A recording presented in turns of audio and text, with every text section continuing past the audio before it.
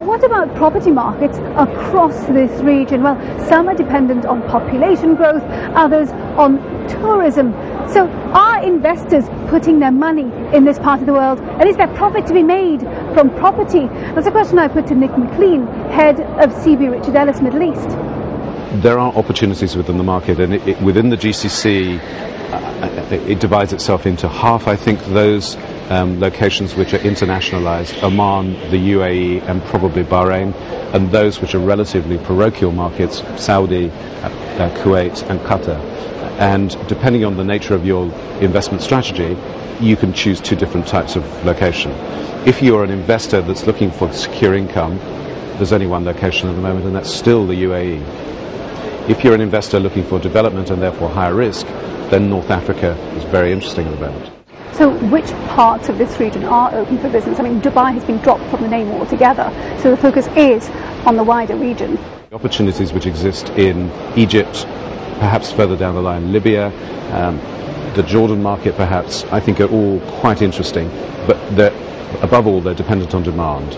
So it's not gaps in the market, it's where the international corporates are going, which is driving business at the moment. Is it worth investing in any market in this region?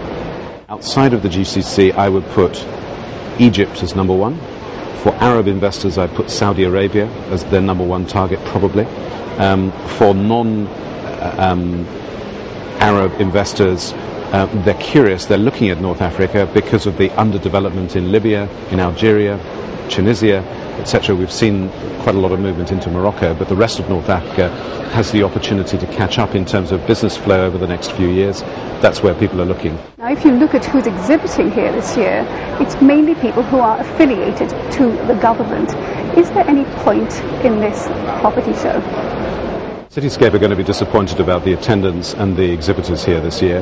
Um, I think there is a point in having it that uh, the property markets in particular are all about sentiment. Uh, I think if we're cautious and make the right kinds of noises to tell the world that actually Dubai has not closed shop, it's still open for business. Um, and if we work on, or if Cityscape works on the types of occupiers who are coming here rather than investors and developers, yes, there's a future for a show like this going forward.